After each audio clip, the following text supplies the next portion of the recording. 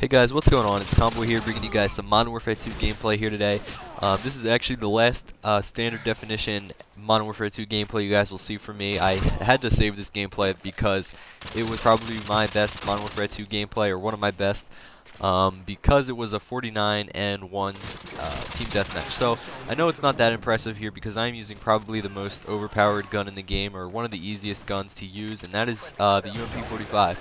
Um, it's pretty much a two-shot kill for those guys um, who, you know, played Wii and never had Modern Warfare 2.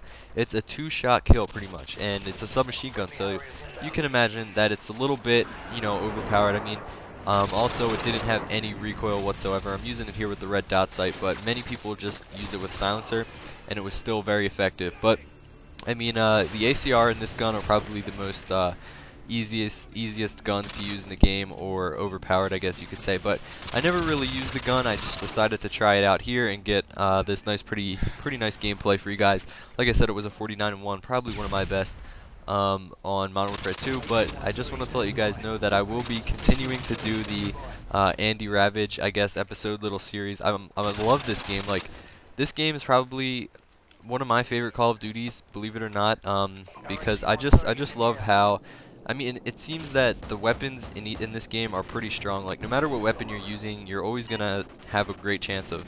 I don't know, it's just, it's kind of hard to explain, but I love the shotguns in this game, and I really do enjoy playing it. So, like I said, it will be, I will be continuing to do more of those little cliptages or Sandy Ravage fanboy montages and all that kind of stuff.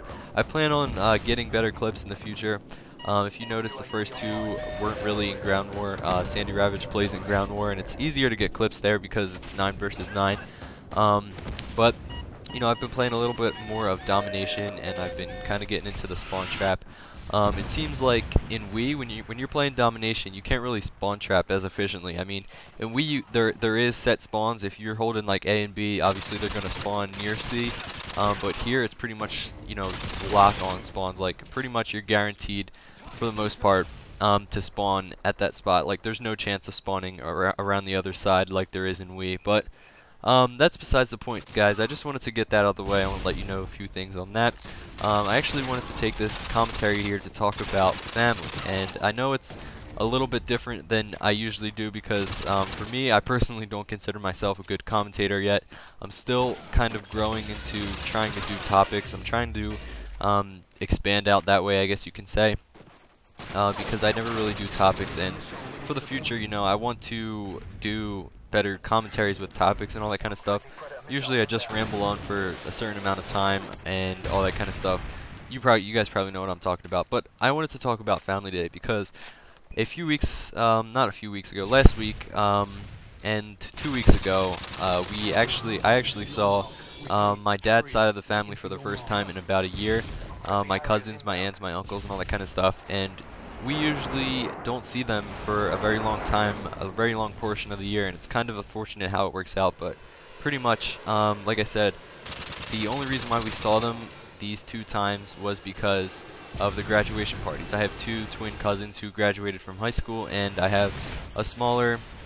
Uh, he's not really a cousin, but he was it, it's a, it's a long story, but my aunt and uncle kind of take care of him because his parents aren't really, um, I guess you can say, reliable or responsible, or I don't really know the story behind it, but basically what it is is he graduated from 8th grade, so we went to his party, and the following week was my two twin cousins' party, and it was great seeing them. I mean, I, I love, you know, obviously I love seeing my you know, dad's side of the family, although we rarely get to see them. And it's kind of unfortunate, like I said, how, how that works out. But pretty much the reason why we are kind of separated is is pretty much unknown to me. I mean, um, we, you know, when we were younger, we we used to see each other a lot more. Like, but now it seems like we only see each other during the holidays or special occasions. Like I said, with uh, graduation and sometimes even Christmas. There's Christmas parties and stuff, and birthday parties, all that kind of stuff. But um, for the most part, we go a very long time without seeing them, and it's kind of unfortunate how it works out. And it kind of got me thinking, like, the other day um, when I was actually seeing these guys. Um, I was like, you know, is this how kind of maybe, you know, you, you'll meet someone in life with, like, your last name or something, and then you'll find out you're related some somehow later. I kind of got me thinking like that. Um, that's how families kind of get separated and all that kind of stuff. Um, like they don't even know they're related a few generations down the line. And I don't really want that to happen with my dad's side of the family and like I don't really know like why I said we were we don't really see that much of them at all, but I don't know, it's kind of confusing. And like I said, it's it's really bad because I, I would love to see them more. I mean, I, I see my mom's side of the family a lot more. Like pretty much every week, I see all my aunts and uncles on their side, pretty much. And yeah, I mean, like like I said, I I don't really like having a family like this this size of my dad's side. I mean, he has seven brothers or something, or seven siblings, not brothers, but um, we rarely get to see them. I don't know, guys. It's just something I wanted to put out there and see if you guys could relate to it. Um, do you have any family members out there that you never get to see? I mean, it kind of sucks, but hopefully you guys enjoyed the gameplay and the commentary. Let me know if you have any more topic ideas or if you enjoyed this one, and I'll see you guys later. Thanks for watching.